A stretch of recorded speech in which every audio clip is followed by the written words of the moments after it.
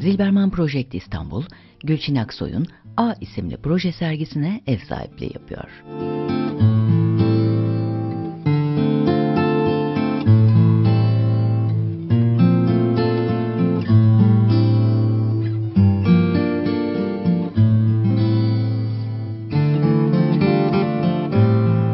Geleneksel dil kodlamaları üzerinden ilerleyen bir proje olan A, izleyicileri birçok dilde karşılığı olmayan abla ve abi kelimeleri üzerine düşünmeye davet ediyor.